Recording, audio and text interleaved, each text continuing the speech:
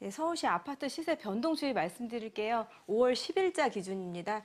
매매가는 평당 2,660만 원대 형성하고 있고요. 전세가는 어, 평당 1,390만 원대를 형성을 하고 있고요. 어, 강남구입니다. 강남구 아파트 시세 변동 추이 되겠는데요. 어, 매매가 평당 5,233만 원대에 전세가 2천만 원대를 형성을 하고 있다라고 보시면 되겠고요. 등락률 참고하시면 되겠습니다. 예, 30평대 기준으로 아파트 매매 시세 가격은요, 매매 호가 13억에서 22억대를 형성을 하고 있고요. 전세가는요, 호가 6억에서 14억대를 형성을 하고 있습니다. 어, 30평대 역세권 아파트 시세 한번 볼게요. 어, 강남 구청역으로 가보시면은요, 어, 상단으로 해서 삼성 청담공원 아파트가 15억대 형성하고 있고요. 99년식이네요. 어, 전세가율은 43%대를 보여주고 있고요.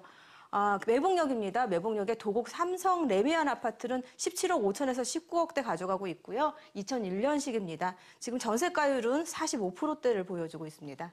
아, 신축으로 해서 소형 주택 시세도 말씀드려 볼게요. 어, 평형별로 나누어 보았고요. 분양 시세와 전세 시세, 임대 시세 참고하시면 되겠습니다. 네, 말하지 않아도 인기 많은 지역 강남 지역에 대해서 살펴주고 계십니다. 이 풍부한 배우 수요는 물론 다양한 교통 호재들로 각광받고 있는 강남인데요. 지역 분석도 해주시고요. 또 구체적인 호재는 어떤 게 있는지도 자세하게 짚어주시죠.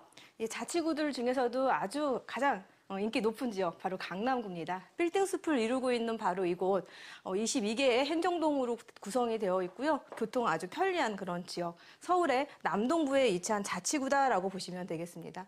어, 주거 환경적인 면에 있어서는요, 웰빙 주거 환경 가져가고 있고요. 또 관광 명소들도 이렇게 많이 있기 때문에 내국인 포함해서 외국인들 관광객들 많이 즐겨 찾고 있는 곳 바로 이곳이다라고 말씀을 드리겠습니다.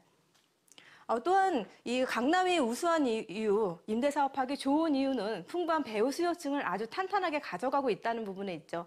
통계청 조사에 의하면은 사업체 수, 종사자 수 가장 많았던 곳이 바로 강남구고요. 또 직업군도 다양하게 양질의 직업군들 다양하게 있는데요. 기업체의 종사자 수, 항공시설 종사자 수, 상업시설 종사자 수, 양질의 수요층 풍부하게 가져가고 있는 지역 바로 강남구다라고 말씀드리겠습니다. 어, 호재 부분 들어가 볼게요. 지금 현재도 교통 여건 아주 우수한 지역 강남구입니다. 하지만 다수의 교통에 호재들이 있습니다. 어, 신분당선의 호재, 지금 현재 공사 중에 있죠. 용산역까지는 2024년에 완공을 목표로 두고 있고, 또 위에 삼송까지도 연장안이 있다라고 보시면 되겠고요. GTS C 노선 같은 경우에도 예비 타당성 조사가 2018년 12월에 통과가 됐는데 어, 상단으로 하단으로 계속 연장되면서 어, 강남권을 중심으로 해서 접근성이 유리해지면서 많은 인구 유입 기대를 해볼 수 있다라고 말씀드리겠고요. 어, 2022년에 착공 앞두고 있는 이래 신사선도 있고요. 또 위례 가천선도 함께 있습니다. 각각 접근성을 통한 인구 집중 현상 더욱더 두드러지게 나타날 것으로 보여지고요. 가장 큰 또 호재죠. 경부 고속도로의 지하화 사업이 있습니다. 양재 IC에서 한남 IC까지인데 이렇게 도로가 증축되고 증설되고 또 공원이 조성이 되고 복합시설이 들어오면서 3만 9천여 명, 명의 어, 일자리 창출까지도 도모해 볼 수 있는 호재다라고 보시면 되겠고요.